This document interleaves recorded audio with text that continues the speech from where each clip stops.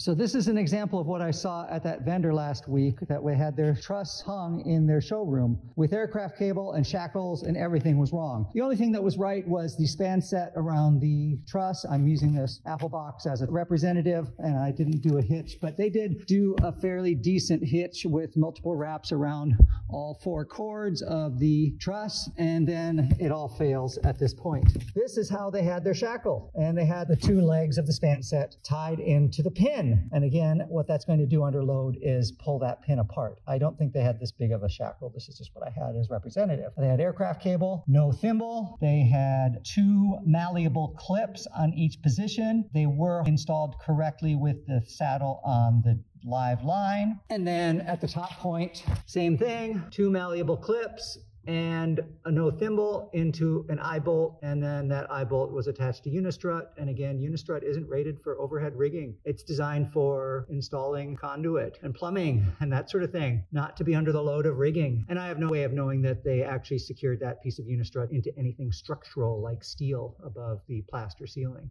Malleable clips require three at each point, not two, and malleable clips are not considered safe for overhead rigging. In fact, they are explicitly prohibited in counterweight fly systems by ANSI regulations. Now, this installation at this vendor was a dead hung thing, so it's not actually a counterweight fly system, so the counterweight fly system rule by ANSI probably doesn't apply, but all of the manufacturers of malleable clips say malleable clips are not for critical installations, and we would consider consider any overhead load, dead hung or counterweight fly system in a theater, in a showroom, in any location that we're doing theatrical entertainment work. That is a critical installation. So no, no, no, no to malleable clips. I just pulled these off of some old rigging and I'm going to throw them away, but I wanted to use them for this demonstration. I'm not going to keep these malleable clips in house. So everything was wrong except for the span set attached to the truss. It was one of the preferred methods. I can't tell you which one. I don't do a lot of span sets to truss work, and there are dozens and dozens of attachment methods of hitching it to your various chords on your truss. It did look like a good strong hitch. It just failed at the shackle point. You got to turn that shackle around, people. You got to turn that shackle around. And I was initially suspicious. I was like trying to figure out how did they get the thimble over the ends of that? Because the thimble would never go over the ends of even a smaller shackle for quarter inch cable. And then I realized, well, that's because they didn't use a thimble.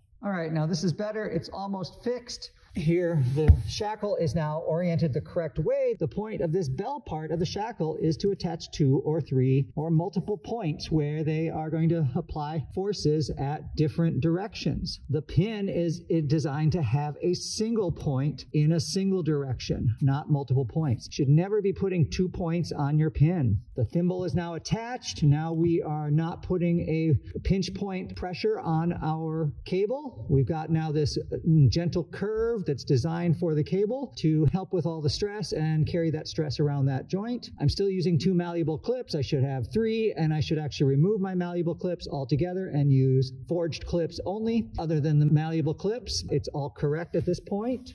And then up here, same thing. You'll notice there are two different types of thimbles. This is your regular quarter inch thimble, and the other one on the other end is your heavy duty quarter inch thimble. So use either one, whichever you prefer, and whichever is appropriate for your application. The wire rope clips are saddled correctly on the live line. One of the other reasons I think use of wire rope clips is just a bad decision in theater is because they're also recommended to be installed at a certain torque. And in 35 years in theater, I don't think I have ever seen anyone with a torque wrench torquing their wire rope clips down to the manufacturer's recommendations. If you're not going to do that, you probably shouldn't be using them. Here's a chart of some common methods of attaching your span set to your truss. There's so many possibilities, but you'll notice if we look closely at any one of these, all of them have the shackle with the bell down and the pin up. The bell is down because you've got the two points of the span set connecting to the shackle. It has to be this way. It can't be the other way around